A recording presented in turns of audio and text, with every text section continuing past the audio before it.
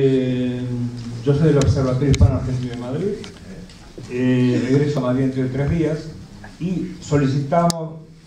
solidaridad y apoyo a las marchas por la dignidad que se están realizando en Madrid, exigiendo y apoyando la enseñanza pública y gratuita, la sanidad pública y gratuita, el no pago de la deuda externa considerada fraudulenta, en contra del capital, por la democracia, por la reforma de la Constitución, por la cárcel a los banqueros que han estafado a 700.000 jubilados, por el no los recortes sociales de ayuda a las familias que están debajo del nivel de subsistencia,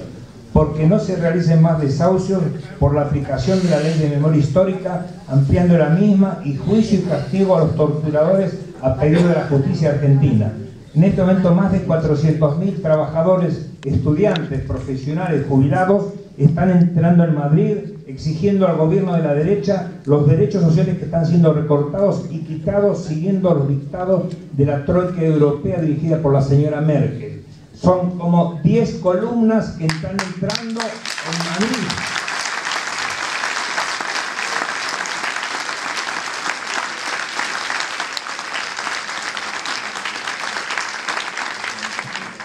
Sí, una vez que terminen las columnas, el día 22 de marzo van a rodear también la zona de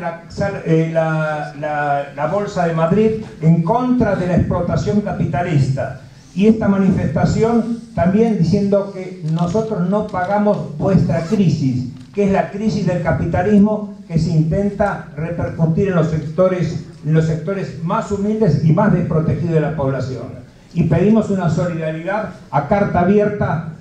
eso, punto y nada más. Gracias.